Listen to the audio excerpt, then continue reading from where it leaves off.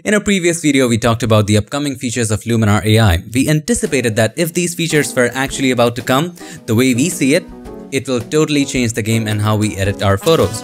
However, today I have something real. We have our hands on the earliest beta version of Luminar AI. It is still an extremely developmental early stage though. So today we're going to focus on the portrait retouching features of Luminar AI. We'll look at some new and also existing features that use artificial intelligence and see how they shape up our portraits. We have a lot of examples for you and also a full retouch at the end. So without any further ado, let's get started. Life is for living. Let's see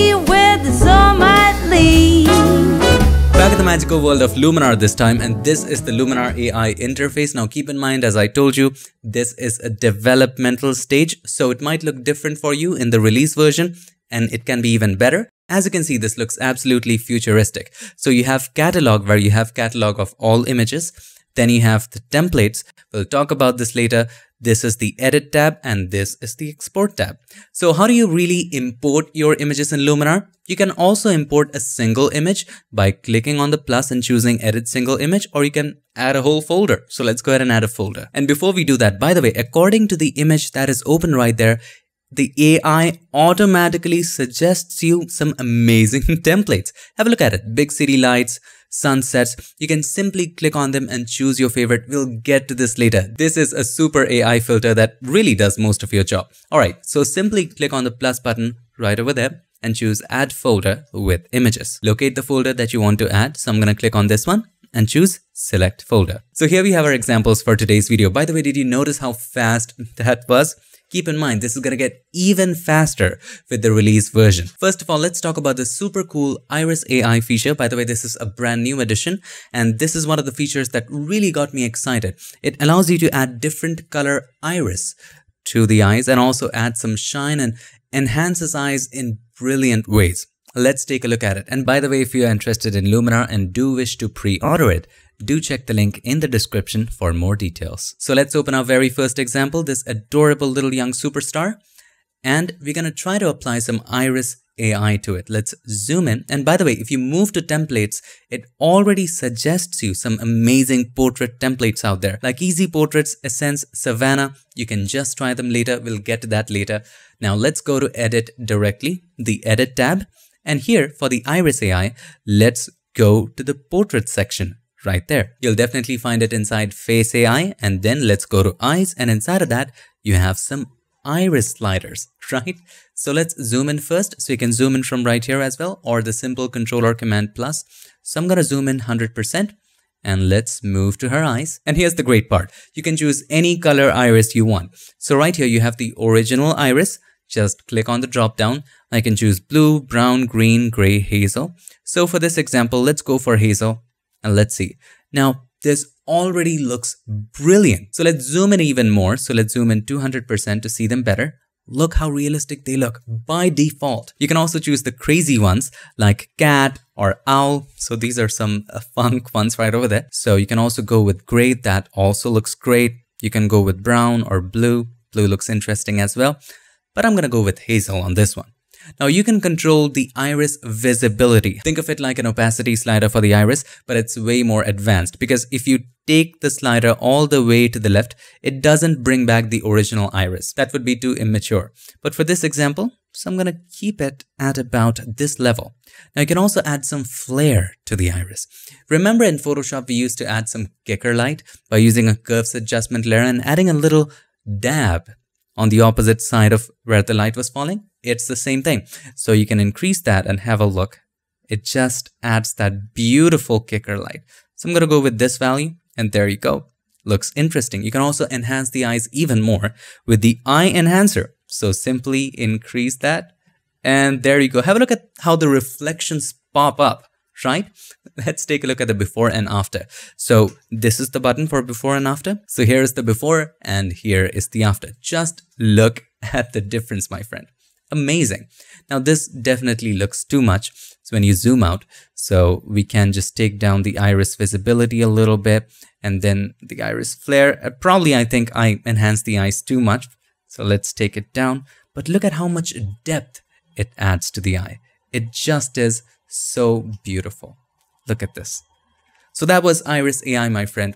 You can choose any color iris you want. And the best part is you still keep the reflection in the eyes. The next feature we're going to talk about is Skin AI. And the way it finds blemishes and automatically removes them still boggles my mind. Let's take a look at this example, right? So let's go to edit section right over there. And then again, we'll directly come to portrait section. Right now, the face AI was already open from the previous example. So let's close that and let's open skin AI right there. And wait for it, it is just a checkbox. If you just check skin defects removal AI, see what happens. All the major blemishes gone automatically and it still keeps it natural. Isn't that amazing? On top of that, if you want to add softness to the skin, you can do that as well by increasing the amount right there. This makes the skin soft. I wouldn't go all the way to the right because then it makes it too soft. Let's keep it natural and keep the value somewhere about right here. You don't want to add too much softness when retouching male portraits. Now let us talk about a new addition and this AI feature is called Body AI. And the reason why it's special is because no matter what position the subject might be, it still works. It still allows you to add or reduce weight from the subject. Let's take a look at this example. Manually liquefying in Photoshop can be time consuming, but right here you can simply click on body AI. Now it is again inside of the portrait section and then you can reduce weight or simply add weight. That's totally up to you. And it sure does work with any position. Let's take a look at this example. He is standing a little bit to the side, right? Let's go to the edit panel, edit tab right there. And then I'm going to take the body AI all the way to the left. Let's add some weight to it, add some muscle to it. So this is the normal one. And if we take it all the way to the left, and the great part is it did not deform the arms. So here is the before and here is the after. If you were to apply liquefy to it and you were not very careful, it could deform the arms, but this does a pretty amazing job. Now let me quickly show you the composition AI feature that suggests you different crops for your image based on the golden rules of photography. Let's take a look at this photo. So all you have to do is to come back the essentials tab in the edit section right there, edit panel I must say, and click on the essentials section if that is not already selected, and then click on composition AI. All you have to do is to simply click composition AI and it automatically does the job, suggests you a crop. If you're happy with it, all you have to do is to hit enter. And there you go. Have a look at this. Such a nice crop, isn't it? On top of that, you can also straighten it automatically. So if you open up Composition AI, here, you can simply click on in here and it automatically straightens that as well. Now it is finally time for us to move to a full retouch session from beginning to end and look how fast Luminar AI is or how good it does. So here we have an image and we're going to use the brand new feature called templates. So all you have to do is to go to templates and it automatically suggests edits for this photo. So it already suggested analog, essence and also lifestyle. So let's try that. Let's click on lifestyle and we're going to probably try this one. Looks a little warm. Let's click on this one and it will automatically edit your photo. And look at it. It's pretty darn good. So here is the before and here is the after. It does most of the heavy lifting for you. Now keep in mind, you can always change and customize things. All you have to do is to go to edit and from there you can customize things right there. If you think the exposure is too low, you can still customize it. Now let's get back to templates. I want to try something else. So apart from the suggested ones using AI, you can also scroll down and use something of your own. So I want to try this experimental pack right there. There are some really good ones here. So let's try Cold Flame. Look at the dreamy look in this. So here is the before, here is the after. That looks fantastic as well. Let's try Celebrate. Wow. Just wow. I'm staying with it. Really. Not only the flare, but the grading on the image looks great to me. And by the way, you can change the flare if you want to. You can also use something from your own personal collection. Let me show you how. So let's go to edit. Now inside of that, you can go to local masking section. You can add basic adjustments, skin AI, face AI, and then just add local mask to it. As I told you, AI is automatic, but it gives you the flexibility to add or remove it from certain areas. And also add AI filters on top if you want extras. So let's go to texture right there and you can simply turn it off. You can delete it by clicking on the cross or you can just simply turn it off if you probably want it later. And let's go ahead and add some more texture. I'm gonna add some personal texture right there. Just click on load texture, locate your overlays folder, and from here, I'm gonna go ahead and choose overlay 2 and click on open. And it looks pretty good, but it looks dull. You know why? Because the right blend mode has not been applied. So let's change the blend mode from normal to screen. So in the advanced settings right there, change the blend mode to screen. And there you go. Looks pretty darn good. Now you can increase the brightness so I'm gonna go with probably this much brightness looks pretty good. But at the top, this is a little disturbing. So we can always erase it. Choose the eraser right there. And I'm gonna decrease the opacity and just take it away slowly and gradually from right there. We took a little away from there and there you go.